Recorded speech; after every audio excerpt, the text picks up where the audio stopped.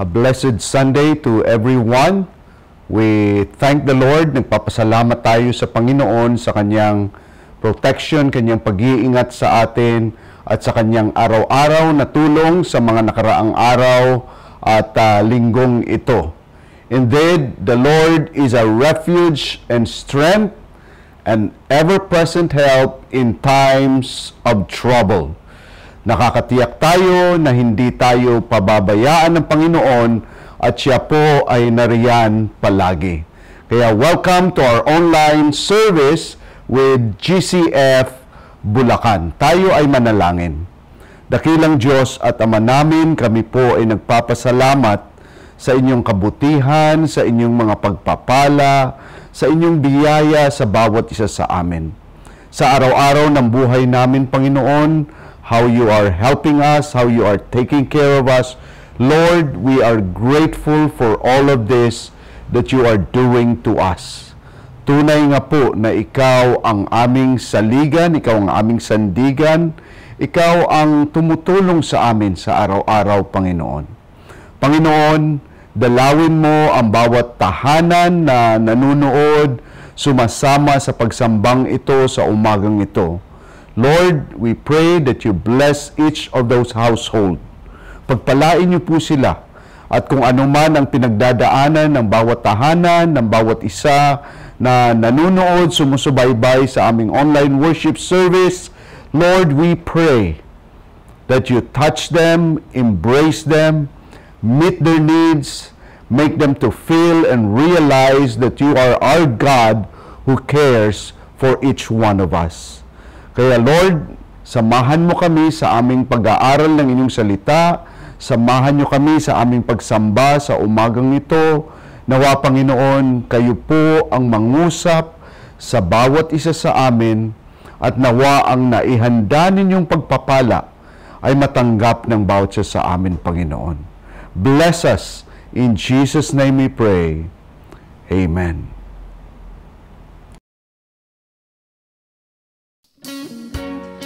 Yahweh ang aking pastol. Hindi ako magkukulang.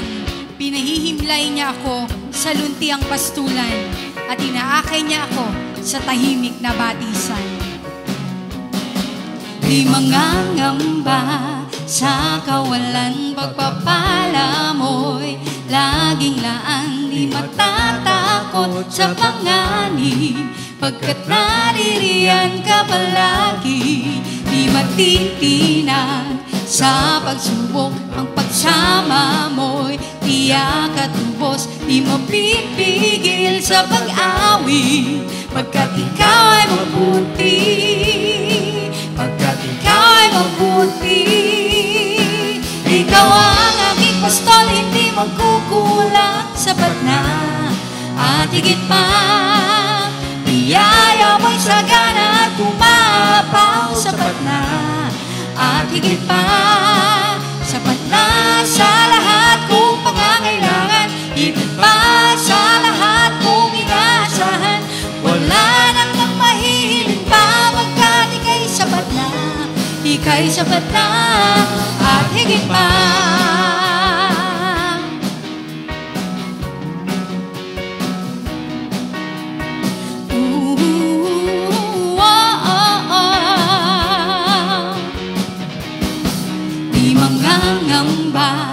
sa kawalan pagpapala mo'y laging laan di matatakot sa panganib pagkat naririyan ka palagi di matitinag sa pagsubok ang pagsama mo'y tiyak at lubos di mapipigil sa pag-awit pagkat ikaw ay mabuti mabuti. Ikaw ang aking pastol, hindi magkukulang sapat na. At higit pa Biyaya mo'y sagana at umaapaw sapat na. At higit pa Sapat na sa lahat kong pangangailangan. Higit pa sa lahat kong inaasahan. Wala nang mahihiling pa Pagkat ika'y sapat na ay sapat na at higit pa.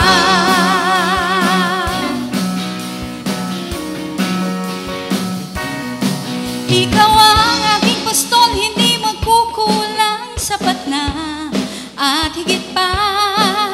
Biyaya mo'y sagana at umaapaw sapat na at higit pa. Sapat na sa lahat kung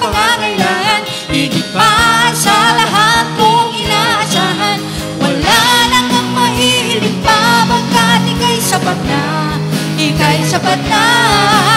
Wala nang nang mahilig pa Pagkat ika'y sapat na. Ika'y sapat na. Wala nang nang mahilig pa Pagkat ika'y sapat na. Ika'y sapat na At higit pa.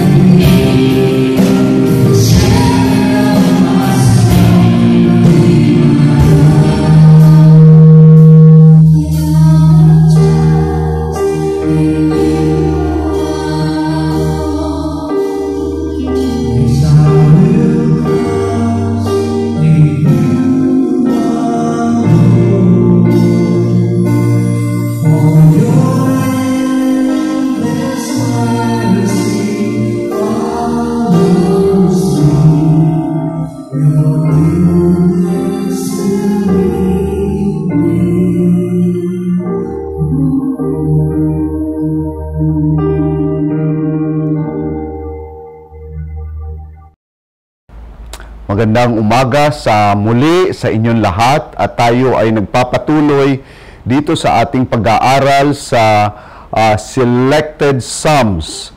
At uh, sa linggong ito, tayo po ay mag-aaral ng Psalm 23. Tayo ay nagpapasalamat kay uh, Pastor Randy Lacerna na siya ang tagapagsalita natin last Sunday. Indeed, God is a righteous God and He expects that we please Him in everything that we do.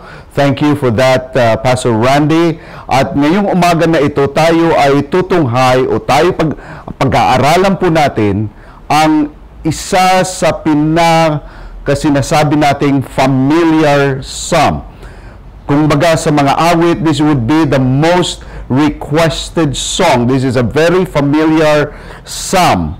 At ito po ay binabasa, binabanggit, at uh, siya ang kaaliwan minsan ng marami in times of sadness, in times of grief, in times of sorrow. We always run to, or marami po ang tumatakbo dito sa awit 23 na kung saan they, they get to be encouraged and comforted. Uh, the comfort of, of this psalm na binibigay sa mga tao na tumatakbo dito sa Psalm 23 na ito. At may isang mama nga na pumunta sa isang pastor at sabi niya, Pastor, talagang mabigat ang aking daladalahin, mabigat po ang aking problema. At pinakinggan siya ng pastor at ang sabi ng pastor sa kanya, ito ang gagawin mo. Sumulat siya sa isang papel at binigay niya sa mama sabi ng mama, parang doktor ka pala, pastor, no? Binigyan mo ako ng reseta. At ang nakasulat po doon ay basahin mo ang Psalm 23 tatlong beses sa isang araw. Bumalik ka sa akin after a week. Pagkatapos nga po ng isang linggo, bumalik yung mama sa pastor at sinabi niya, Pastor, gumaan ang aking pakiramdam at higit ko nakilala ang nangangalaga sa akin na aking pastor na ang Panginoon. Yan po ang nagagawa ng pagbabasa ng salita ng Panginoon, ng pag-aaral ng salita ng Panginoon. At siya ang nagawa ng Psalm 23 sa marami po na tumatakbo dito at pumupunta rito sa Psalm 23 na ito, ikang 23 na na awit at ito po ay nagbibigay ng kaaliwan, kalakasan sa kanilang kaluluwa, sa kanilang buhay. And so, ito po, ang awit na ito ay Psalm 23 ay sinulat ni Haring David nung siya ay uh, ayon sa mga mga ngaral na siya ay medyo matanda na. At uh, napatunayan ni Haring David na ang Panginoon bilang pastor ay isang tapat na pastor na siyang tagapangalaga niya. So in his uh, sunset years, David wrote this psalm. Why? Because he has proven God that God is the faithful shepherd who never did abandon or has left David the king. Maraming pinagdaanan si Haring David bilang isang hari, ngunit siya ay hindi pinabayaan ng Panginoon at napatunayan niya sa buhay niya at naisulat niya itong awit na ito. Itong awit na ito ay isa din pong awit na kung saan nag, nagpapahalaga at hindi lamang yan, kundi na nagpapahayag ng kanyang uh, kagalakan sa pagtitiwala niya sa Panginoon. This is a profession of joyful trust in the Lord. Kaya nga itong pagkasulat na ito hindi siya kumbaga may kalungkutan kundi na may katiyakan, may kapanatagan na kung saan God is my shepherd. The Lord is my shepherd at may kagalakan na sumasama po dyan. And so, tunghayan po natin itong Psalm 23 at basahin po natin ang anim na talata ng Psalm na ito. The Lord is my shepherd I have all that I need. He lets me rest in green meadows. He leads me beside peaceful streams. He renews my strength. He guides me along right paths bringing honor to His name. Even when I walk through the darkest valley, I will not be afraid, for you are close beside me. Your rod and your staff protect and comfort me. Verse 5 You prepare a feast for me in the presence of my enemies. You honor me by anointing my head with oil. My cup overflows with blessings. Surely goodness and unfailing love will pursue me all the days of my life, and I will live in the house of the Lord forever. Panginoon, pagpalain mo itong aming pag-aaral ng inyong salita. Mangusap po kayo sa amin, ipadama niyo po ang inyong presensya, bigyan niyo kami ng kaaliwan, kapanatagan, katatagan ng aming kaluluwa, ng aming kalooban, Panginoon, na ikaw ang aming pastor, na hindi kami iiwanan, hindi kami pababayaan. Ikaw ang aming pastor na nagpupuno ng aming mga pangangailangan. At nawa, Panginoon, itong aming pag-aaral na ito, magdala sa amin palapit sa inyo, na ikaw ay higit naming yakapin at higit kami na manatili sa inyong piling, Panginoon, dahil ikaw ang aming pastor na magbibigay ng aming mga pangangailangan na sasama sa amin sa lahat ng landas ng buhay. Itong aming dalangin sa pangalan ng Panginoong Yesus. Amen. So, Psalm 23. May apat lang po tayo na bagay na uh, nais kong dalhin sa inyo patungkol dito sa awit 23. Ang una po dito ay, ito po ay, this is a declaration. Ito ay isang pagpapahayag na ang Panginoon ang aking pastor o si Yahweh ang aking pastor. Uh, madalas po in the times of David, in the olden times, na yung kapanahonan na yon, ang hari ay minsan ay tinuturing o uh, kinikilala na bilang pastor ng bayan. Gaya ng presidente natin, dapat siya ay pastor ng ating bayan. At uh, nung panahon na yon, si Haring David, no, ay uh, siya ang pastor ng Israel. Ngunit dito, nakita ni Haring David na may higit pa na pastor na siyang mag-aalaga, tutulong, gagabay sa kanya bilang pastor ng bayan. He recognizes that he is the king. Yes, he is the king, but there is one that is greater than him, who is Yahweh, who is God, who should be his shepherd, who should be the one who would guide him, who would give him wisdom and direct his steps and even help him lead the nation of Israel. At dito makikita natin na dineclare niya na ako hari, ako si Haring David, ngunit God is my shepherd. As si Yahweh ang aking pastor. Now, ang tanong dito, no? Paano tayo nagiging tupa ng Panginoon bila siya ang ating pastor? How do we get to be God's flock or a sheep of God and He is our shepherd? I had a chance of uh, going into part of uh, North uh, Africa at doon po sa isang palengke, uh, the animal farm, no? doon tinitinda o uh, pinagbibili ang mga donkey, ang mga baka, ang mga kambing, at doon po napakarami ng mga tupa na binibenta. At nandun ang mga mamimili na kung saan pinipili nila ang kanilang bibilhin na tupa. So hahawakan nila yan, bubuhatin, no, titingnan, at hindi lamang yan, kundi talagang halos niya yakap pa nila. At pagkatapos po niyan, babayaran nila at iuwi nila yung tupa na yan. So, in the same way that you and I no, have become the flock or the sheep of God, God paid the price for us that He could make us to be His flock, His sheep. And what was the payment for that? It was the Lord Jesus Christ.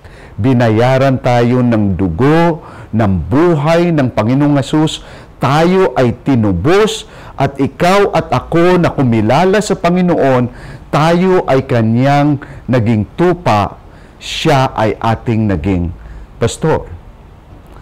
So sa umagang ito, kung alam mo na ikaw ay hindi pa napapasakop sa mga tupa in the flock of God, you can still do it. You can still belong to God as His sheep. And together with the psalmist, together with David, you can say, The Lord is my shepherd. So ang tanong dito is, God is your shepherd.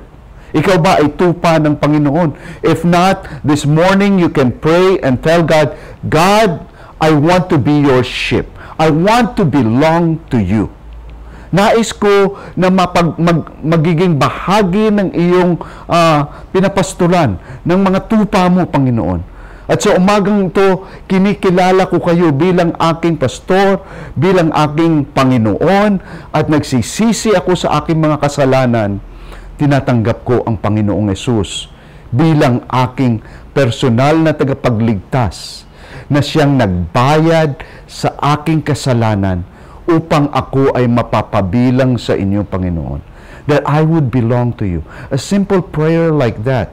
Then you can say, together with all the other that belongs to the flock of God, you can say it with, with joyful trust.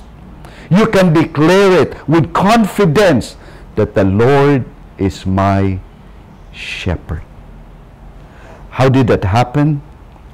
We become God's sheep, not because of our worthiness, but because of God's choosing. Sa kadami-dami ng tao sa mundo, magpasalamat po tayo na pinili tayo ng Panginoon. Hindi po dahil sa ating kakayahan o kung sino man tayo. Dahil sa Kanyang biyaya, because of His grace, because of His mercy, He chose you and you belong to Him. And you know what? upang higit natin maunawaan itong shepherd and sheep relationship, tunghayan natin sa John chapter 10. Pag sinabi na, the Lord is my shepherd, makikita natin na the shepherd is the one who takes care of the sheep. He owns the sheep and he leads them. Siya ay nangunguna sa kanila. Mahal niya ang kanyang mga tupa at iniingatan niya ang kanyang mga tupa. Hindi niya pinababayaan. Kaya mababasa natin in John chapter 10, verse 3 and 4, To him the gatekeeper opens. The sheep hear his voice, and he calls his own sheep by name, and he leads them out. When he has brought out all his own, he goes before them and the sheep follow him, for they know his voice. In, in my experience, in, in watching the shepherd and the sheep in the field, lalo na pag napunta kayo sa Middle East or part of, uh, of Israel na kung saan nandun yung mga shepherd, may mga sheep, mapapansin po ninyo na minsan yung mga shepherd, umuupo sila, they would have tea together, and sama-sama po sila. At ang kanilang mga tupa ay sama-sama din. No? Ngunit, pagkatapos nila magtsikahan dyan, pagkatapos nila mag-usap-usap, magiwahiwalayan sila. Okay? And it's so amazing that you would see that each shepherd is followed by his own flock yung grupo ng mga tupa na yon ay maghihiwa-hiwalay din at sasama doon sa shepherd nila. That is how the sheep knows the shepherd. And as the shepherd would lead, the sheep follows. They recognize, or only recognize, but they have a relationship with the shepherd and they follow him. Anong sabi dito ni John in John chapter 10? They know his voice. And you know what? Ang bawat shepherd, they have their own way of calling their flock. Maari yung isa ay sasabihin, kukuku, or yung isa ay sabihin, or something like that. They make a sound. And different sounds that the shepherd would, would, would say or make, then the sheep follows them. The question here is, whose voice are you following? Is the Lord your shepherd? Do you recognize the voice of the Lord? And do you follow him? That's why David said, The Lord is my shepherd. It is a declaration of his confidence on his shepherd. So the sheep hears the shepherd's voice and they follow him and he leads them. May isang uh, very familiar na kwento. Uh, ma madalas ninyong marinig ito sa mga pastor or uh, in those giving sermons. But I would like I would like to share this with you this morning. Na minsan may isang pare na dala niya yung kanyang mga parishioners no at si father nakasakay sa isang uh, tourist bus together with his parishioners and they were touring Israel at sabi niya watch out to your left at to your right. Tingnan ninyo may makikita kayo ng mga shepherd at itong shepherd na ito ay sinusundan ng mga sheep ng kanyang mga tupa and the flock will follow him. And so hindi kalayuan may nakita sila ng mga sheep no? Ngunit, ang shepherd ay nasa likod at may dala siyang hawak o may hawak siyang kahoy na kung saan hinahabol niya yung mga sheep.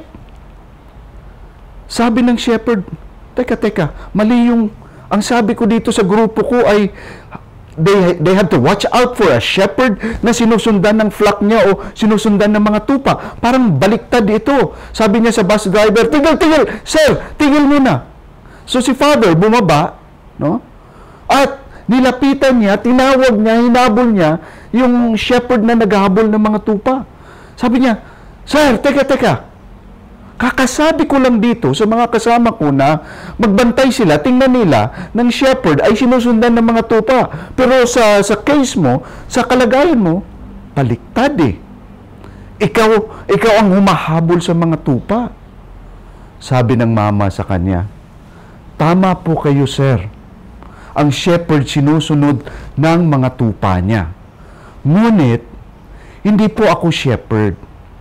Ako po ay tagakatay ng tupa. I'm a butcher. So dito, magkaiba po ito. The shepherd leads, but the butcher, he drives them because he wants no, to butcher them. So, here, makikita natin na ang Panginoon ang siyang nangunguna, ang siyang nagli-lead sa atin. At hindi lamang yan, kundi na mahal na mahal tayo ng Panginoon at nararapat lang kung may hamon ako at may panawagan ako sa bawat isa sa atin sa umagang ito. Gawin natin ang Panginoon na siyang ating pastor, na siyang shepherd natin Be a sheep of the Lord. Belong to the flock of the Lord. Make him to be your shepherd. Why? In John chapter 10, verse 14, we could read, I am the good shepherd. I know my own and my own knows me. Kilala ng Panginoon ang bawat tupa niya. At nabasa natin kanina in John chapter 10 as well that He knows each sheep by name. That was our previous message. God knows your name. God knows who you are. God knows how He has made you. So isn't it a beautiful thing to be a sheep of the Lord and Him to be our shepherd? He knows you. Another verse is in John chapter 11. I am the good shepherd. The good shepherd lays down his life for his sheep. Which means na ganon tayo kamahal ng Panginoon kung kanya tayo. At siya ay ating pastor o siya ang ating shepherd and we are his flock. He lays down for his flock. He takes care of them. He loves them and he willingly sacrifices, give, gives His life for the sheep. Ganon ang pagmamahal ng Panginoon. And so, when David said, The Lord is my shepherd, I shall not want. In the version that we have read in the New Living Translation, it says, The Lord is my shepherd, I have all my needs. Which means that siya ang Panginoon, siya ang makapangyarihan sa lahat, siya ang iyong pastor, siya ang nagmamayari ng lahat, kilala ka niya, mahal ka niya, hindi ka niya pababayaan. What else would you need? Human as we are, we have different needs. There's the need for money, there's the need for affection, there's a need for acceptance, there's a need for relationships, there's a need for us to be comforted, there's a need for us wherein we are not sure of the future and we need to be assured of this. There's a need for us wherein when we get to that uh, we, we get to that age wherein we are not sure as to what would happen in the coming years. The Lord is there. We have needs wherein we are sick and we need healing and we need comfort as well. So God is there. The Lord is my shepherd. All those different needs, the Lord will take care of you. That was the declaration of David. The second here that I would like us to look into is it's about direction. So David said, The Lord is my shepherd. He leads. Okay? So the Lord being your shepherd, He leads. It is Him who is directing, who is leading your life, leading my life, leading the flock. Siya ang nangunguna, siya ang namumuno, at nagdadala sa atin kung saan tayo dadalhin ng Panginoon. Kaya mababasa po natin dito, He lets me rest in green meadows. He leads me beside peaceful streams. He renews my strength. He guides me along right paths, bringing honor to His name. Is my shepherd. He lets me rest. He leads me beside peaceful streams. So siya ang namumuno. Siya ang naglilid sa atin. Kaya nga, the shepherd leads his flock to places of rest, places of refreshment, places of restoration, and he leads them in the paths of righteousness. For his honor, for his glory, he leads us in the different paths of life. And these are places where sometimes we can rest, sometimes we can be refreshed, na kung saan mabibigyan tayo ng kaginawaan, kapahingahan, kalakasan, mababago ang ating kalakasan. Now, the Lord as our shepherd, ang Panginoon bilang namumuno o bilang nangunguna sa atin bilang pastor. Ang ibig sabihin po nito ay, no, He is our leader, He leads us, at dito makikita natin yung tatlong bagay. First is, no, the Lord's superintendence. Napakalaking salitang English na ito, no? Pero sa Tagalog po, ito ay pamamahala, superintendence. Anong ibig sabihin nito? If the Lord is your shepherd, kung ang Panginoon ang iyong pastor, okay? Siya ang namamahala dapat sa buhay natin. Siya dapat ang nasusunod sa buhay natin. Kaya minsan, mapapansin ninyo, no? ito ang gusto ko, ngunit hindi nangyayari. Dito ako magtatrabaho, ngunit hindi natutupad. Or gusto ko itong bagay na ito sa buhay ko, ngunit hindi napagkakaloob ng Panginoon. Bakit? Siya ang namamahala na ang ating kagustuhan, our desires, our our wants or our our uh, ambitions in life, no? And and what we want to pursue in life, sometimes it never happens because that is not what God wants for you. May kaibigan ako na kung saan lumigaw no? Nag-uusap na sila na magpapakasal na sila. Yung babae namatay. Sumunod naman, no? after a few years, ligaw na naman siya. No? Papakasal na naman sila. Namatay uli yung babae. I mean, sabihin ng iba, napakamalas naman ito ng tao. Huwag mo nang pakasalan yan, baka... But the thing is, no? Sometimes we have those desires in our lives na gusto ko ito, Panginoon. But God super intense. Okay?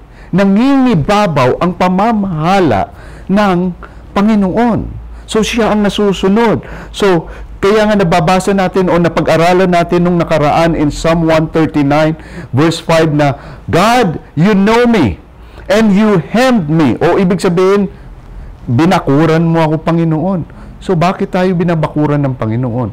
Kasi ang nais niya, siya ang namamahala. Kaya pag sinasabi natin na the Lord is my shepherd, siya dapat ang mamamahala sa atin.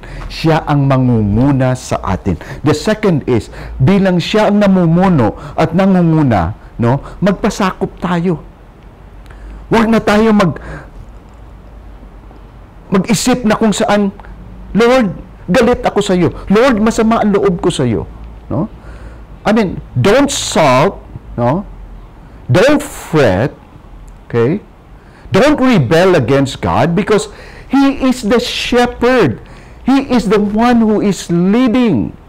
And so, submit to Him. Why? If we submit to Him, He knows where to take us. Alam ng Panginoon kung saan tayo dadalhin. To places of rest, to places of restoration, to places of refreshment, in the paths of righteousness, na kung saan siya ang masusunod, saan siya ang maluluwalhati, we submit to Him. I know, I know. It's not easy sometimes. Because human as we are, we rebel against God. Human as we are, we have our own desires. But to declare and to say that the Lord is my shepherd, allow Him. Let Him lead you. He knows what is best for you. And not only that, but it also results in satisfaction. Why? He knows what is best, alam niya kung anong maayos, alam niya kung anong mabuti sa atin, sumunod tayo sa Kanya at doon natin mararamdaman ang kapahingahan, kaginhawaan na inihahanda ng Panginoon doon sa mga sumusunod, nagpapasakop sa Kanyang pamamahala sa kanilang buhay. Bakit? Ang tupa ay dapat lang na sumusunod sa Kanyang shepherd sa kanyang pastor. Maalala ko yung kwento nung nung panahon na ako ay nasa Sunday school pa. At itong kwento ni Snowflake. Si Snowflake ay isang medyo mataba na na tupa, na baby pa na tupa, no? Uh, EWE, eh, UE, no? So, siya at ang kanyang nanay ay sumusunod sa shepherd. No? Ngunit si, si Snowflake ay napaka-playful, uh, masiyahin, mapaglaro na bata. At ang sabi ng nanay niya, lagi kang sumunod sa tabi ko, huwag kang lumayo, sundin natin yung shepherd, okay? Sundin natin ang ating pastor. At tumatakbo, tumatalon-talon si Snowflake na sumusunod sa kanyang nanay at sa kanyang shepherd. Ngunit isang araw, no? Nandun sila sa meadow, nandun sila sa uh, green, luntian na na lugar na kung saan sila ay nagpapahinga at si Snowflake ay tumayo. Medyo lumayo siya sa kanyang nanay at tumatakbo-takbo, naglalaro. At nakakita siya ng paru-paro. Napakaganda ng paru-paro na tinitingnan niya at hinabol-habol niya. Hinabol-habol niya ang paru-paro hanggang sa malayo na siya. Napakalayo na ni Snowflake na nung lumingon siya, wala siyang makita ng mga kasama niya, wala, hindi niya makita ang kanyang nanay, at hindi niya rin nakita ang shepherd o ang pastor. And so, takbo siya, nalulungkot siya, naiiyak siya, at sa kanyang pagtatakbo, nadulas doon sa may bangin si Snowflake. At doon sa pagkadulas niya, ang kanyang balahibo, ang kanyang uh, katawan ay nahuli doon sa isang halaman na kung saan may mga tinik. At doon siya sumabit. Hindi siya natuluyan na nahulog doon sa bangin. At si Snowflake, Snowflake ay umiiyak. Be, be, be. Tumatawag siya, tinatawag niya ang kanyang nanay. Hanggang sa dumidilim na, napagod na siya ng kakaiyak. At ayaw niyang pumiglas kasi baka mahulog siya. Maya-maya, may umabot sa kanya na dalawang kamay kinuha siya at pinahiran siya at inalis ang mga lupa at mga dumi sa kanyang katawan at binitbit siya ng pastor papunta sa kanyang nanay at sa kanilang mga kasama. Mahirap nga minsan magpasakop sa ating pastor. Mahirap minsan to follow and to go with the shepherd. But we have to submit and we have to be to be allowing and we have to allow God to superintend our desire, our emotions, our our intentions in life and let him lead us as our shepherd. Kaya nga minsan yan ang nangyari sa buhay ng mga Israelites. Anong nangyari sa kanila? Pinagpalit nila ang Panginoon sa mga ibang bagay. Hinabol nila ang mga ibang bagay sa halip na dapat silang lalong lumapit sa Panginoon. Anong mababasa natin in Psalm 55 verse 1 and 2? Sabi dito, Come everyone who thirst, come to the waters, and he who has no money, come, buy and eat. Come buy wine and milk without money and without price Anong sabi ng Panginoon? Why do you spend money for that which is not bread, and your labor that which does not satisfy? Listen diligently to me. Eat what is good and delight yourselves in rich food. Minsan ganun tayo na papalayo tayo sa Panginoon. Pinagpapalit natin ang Panginoon. Ngunit God wants to be your shepherd. He wants to lead your life. He wants you to be led in green pastures. He wants you to be in a place of rest, of refreshment, of restoration, of righteousness. That's why Robert Robinson wrote this. Sabi niya in his uh, hymn, Come thou fount of every blessing. The third stanza, it says, O to grace how great a debtor daily I'm constrained to be. Let thy goodness like a fetter bind my wandering heart to thee. Prone to wander, Lord, I feel it. Prone to leave the God I love.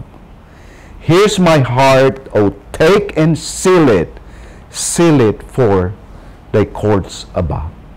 Just like snowflakes, we wander, we drift away from God. But God, being our shepherd, He should lead.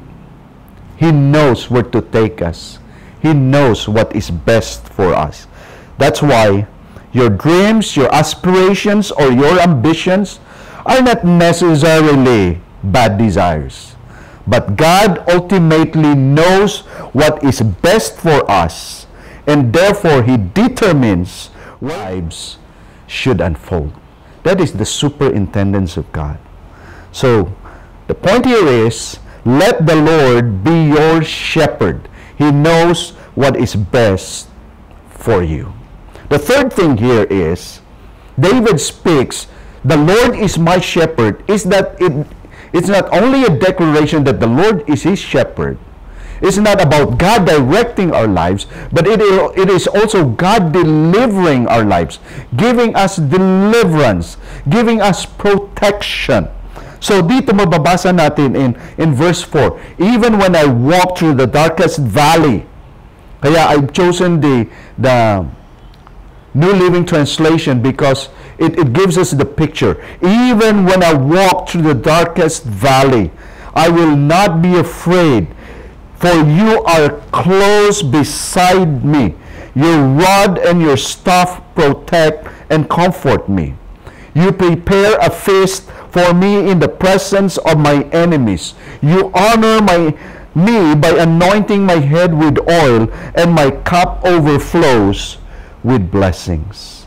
Yes, though we walk through the darkest valleys, the shepherd is still there. Though we walk through the darkest experiences in life, though we walk through the darkest crisis that this world will bring us in, the shepherd is still there. Kaya ano man yung madilim na pinagdadaanan mo, pinagdadaanan natin sa mga panahon na ito, nandyan ang Panginoon at siya ang magbibigay sa atin ng pagtatagumpay, ang, ang siya ang magdadala sa atin sa lugar na kung saan tayo ay muli magkaroon ng kapahingahan. Siya ang magdadala sa atin sa isang lugar na kung saan paglingon natin, yun pala yung madilim na pinagdadaanan ko. Ito ngayon, binigyan ako ng Panginoon ng kaginhawaan ng katagumpayan. When we speak of deliverance, it is what? It is companionship and closeness in our journey. Na kung saan, anuman paghihirap yan, anuman sakit yan, anumang kabigatan yan, God, the Shepherd, ang Pastor, ang ating Panginoon ay kasama natin at hindi lamang kasama natin kundi na siya ay malapit sa atin. Okay? May isang bata na kung saan hiwalay siya na natutulog sa kanyang mga magulang sa isang silid. At tuwing gabi, nilalapitan siya ng kanyang ama at sinasabi ng kanyang ama, Good night, anak. Anong gusto mo, anak? Patayin ko yung ilaw at dito ako sa tabi mo o hayaan ko yung ilaw na nakabukas at iwanan kita. Anong pinili ng bata? Sabi niya, Dad, patayin mo yung ilaw pero dito ka sa tabi ko.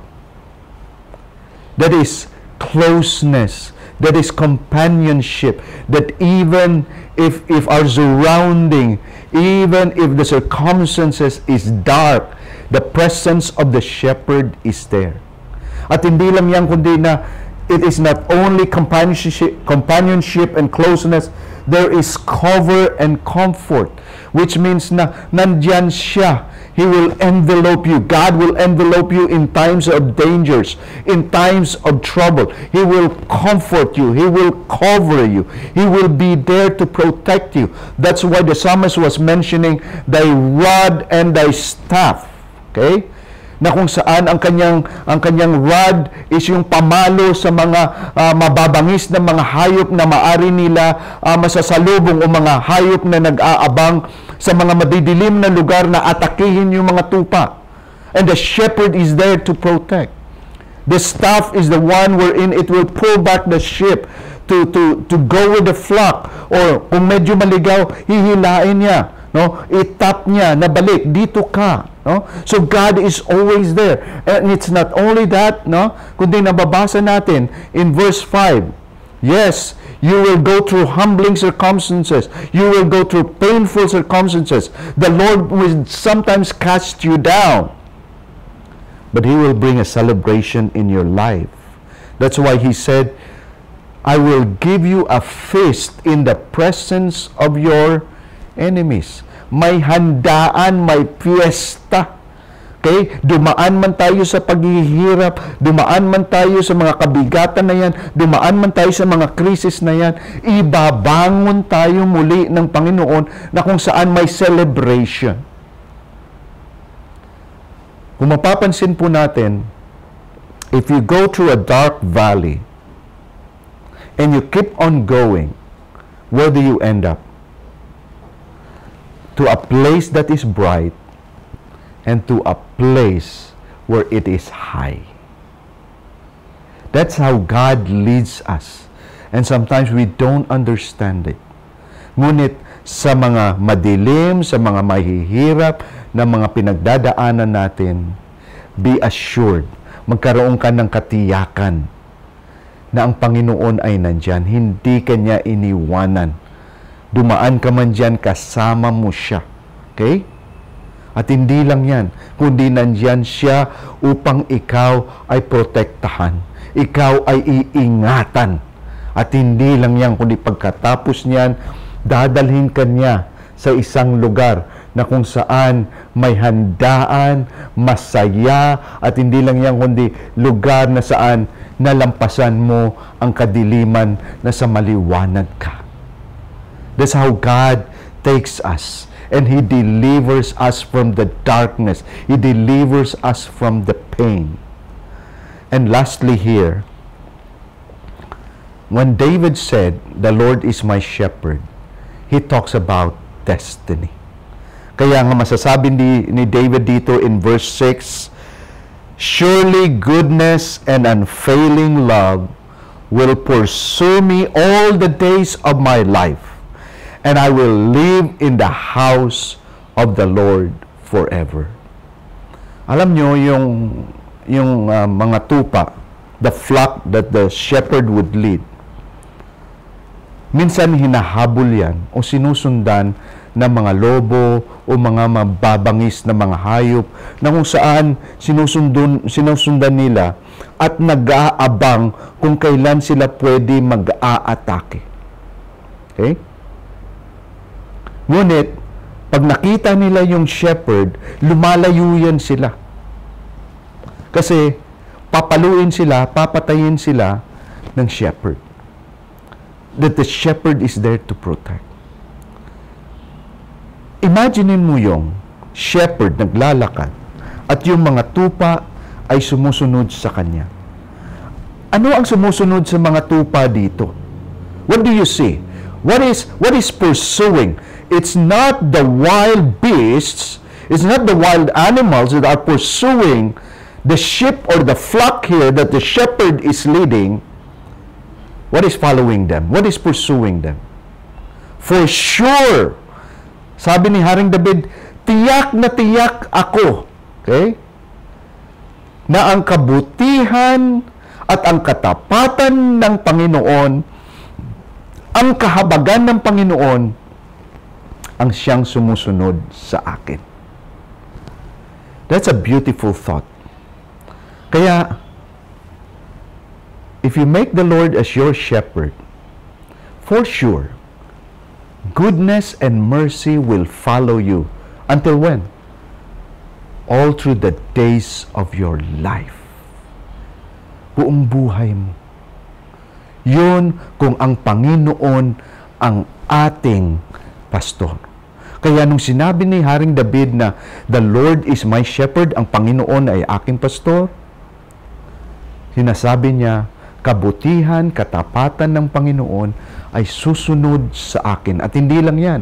Saan magwawakas ang kanyang buhay? Ang kanyang buhay ay magwawakas saan? In the house of the Lord. Na kung saan ang Panginoon, nandun siya, hindi siya mahihiwalay sa Panginoon. At para sa atin na nag-aaral ng salita na ito, saan magwawakas ang ating buhay kung ang Panginoon ang ating pastor? Tunghayan natin in Revelation chapter 7, verse 15 to 17. Ang anong sabi diyan? Therefore, they are before the throne of God and serve Him day and night in His temple. And who, He who sits on the throne shall shelter them with His presence. They shall hunger no more. They will thirst no more. The sun shall not strike them, nor any scorching heat. For the Lamb in the midst of the throne will be their shepherd, and he will guide them to springs of living water. And God will wipe away every tear from their eyes. Saan daw magtatapos o saan daw uh, pupunta yung mga pinapangunahan ng Panginoon, yung mga sumunod sa Panginoon, they will be with God forever. Hanggang sa walang katapusan, sila ay mapapasama sa Panginoon, hindi na sila magugutom, hindi na sila mauuhaw, at napakaganda pa dyan, papahiran ng Panginoon ang kanilang mga luha. So the challenge this morning, the call for this morning is, make the Lord as your shepherd. Surrender your life to Him. Submit yourself to Him. Make Him to be your shepherd. And you know what? The best things in life, from here and even after this life, will be yours, will be ours, if we make God as our shepherd. Totoo po.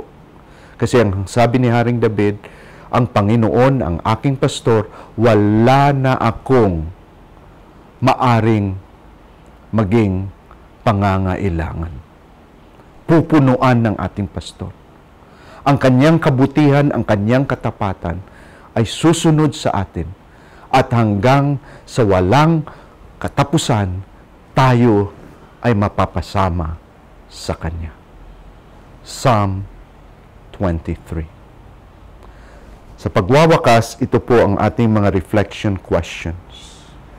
What are some characteristics of the Lord as a shepherd as presented in this Psalm 23? Ano ang mga kaugalian ng Panginoon na maari nating uh, yakapin bilang katotohanan sa ating buhay?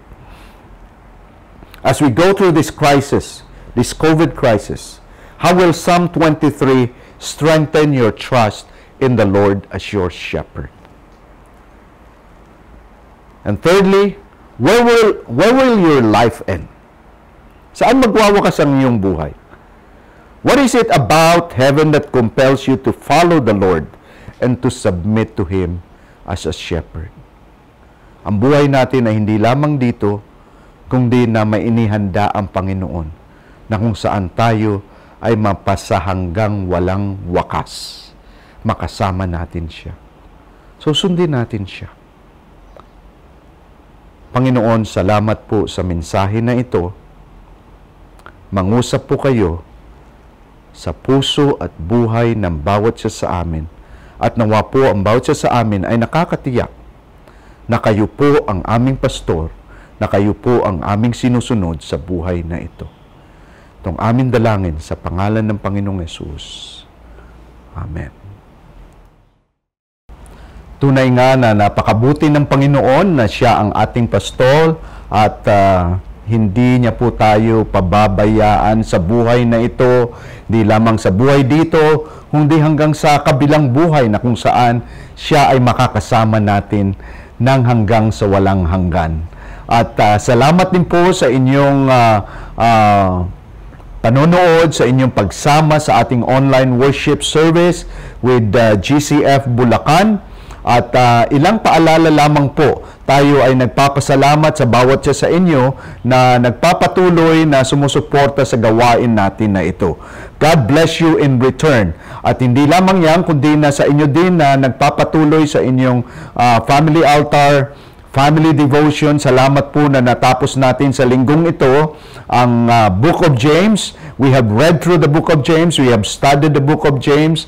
And uh, I'm sure na ang bawat isa sa inyo ay, ay maraming natutunan doon sa aklat ni Santiago o ni uh, the book of James there that we have studied for this week. And uh, next week, we will look into another book study which is the book of Philippians. So yan naman po ang ating susundan sa ating family altar, sa ating Bible study, ang, ang Book of Philippians. At uh, mga nanay, mga magulang, mga tita and tito, lolos and lolas, wag nating pabayaan ng ating mga anak, ng ating mga kabataan. No? Uh, let's continue to to train them in the Word, turuan natin sila ng salita ng Panginoon, at hindi lamang yan, kundi na i-disciple talaga natin sila. At dyan po sa ating uh, uh, Facebook page, andyan po ang para sa ating children's church na mga materials. You can use that as well. And uh, sa mga singles, kayo po ay naanyayahan every 3 o'clock every Sunday afternoon. Join the singles. May link po dyan sa ating uh, Facebook page. Uh, go through that and join the other singles as they study peace with God. Yan po ang kanilang uh, tinatalakay sa kanilang pag-aaral, being with the singles. And so I hope that uh, uh, God would uh, uh, cause every one of us to grow as a church. And uh, sa araw na ito, espesyal na araw na ito dahil ito ay Father's Day. At nais ko po batiin ang mga ama, mga fathers ng uh, uh, GCF Bulacan at kung si sino man dyan na uh, other fathers who are watching or joining us, God bless you. Thank you for your love for your family. Thank you for the sacrifices that you are doing for your family, how you provide for your family. I hope that every father would grow in knowing the Lord. As they grow in knowing the Lord, they will lead their family into that growth in the Lord as well. Pagpalain kayo ng Panginoon at nawa patuloy kayong gamitin sa inyong pangunguna, pamumuno sa inyong mga pamilya. Ipanalangin po natin ang mga fathers and we will close in prayer. Loving God, our Heavenly Father, we lift up to you the fathers and we celebrate Father's Day with them. Lord God, take hold of their minds, their hearts. May they have that hunger for you, that thirst for you. And as they follow you, their Father, they would as well lead their families to follow you. Alam po namin na hindi madali bilang uh, manguna, mamuno sa pamilya, Panginoon. Ngunit tulungan mo ang mga ama ng mga tahanan na ito, Panginoon. At nawa palaguin mo sila sa kanilang pagkakilala sa inyo. Uh, nawa, Panginoon, lalo silang lumalim sa kanilang espiritual na buhay. At ganun din ang kanilang paghikayat nawa sa kanilang mga anak, sa kanilang mga asawa, Panginoon. Pagpalain mo sila, ingatan mo sila, Panginoon, at uh, patuloy mong gamitin ang mga ama ng tahanang ito. Lord, we thank you for joining us, for having been with us and speaking to us through our worship this morning. Lord God, and as we close, we recite again Psalm 23. The Lord is my shepherd. I have all that I need. He lets me rest in green meadows. He leads me beside peaceful streams. He renews my strength. He guides me along right paths, bringing honor to His name. Even when I walk through the darkest valley, I will not be afraid, for you are close beside me. Your rod and your staff protect and comfort me. You prepare a feast for me in the presence of my enemies. You honor me by anointing my head with oil. My cup overflows with blessings. Surely your goodness and unfailing love will pursue me all the days of my life, and I will live in the house of the Lord forever. In Jesus' name we pray. Amen. God bless you. And uh, next Sunday, let's join uh, Pastor uh, Rolando Nantes to uh, be speaking to us on what is a godly family, a family that is blessed by the Lord. Join us next Sunday. God bless you.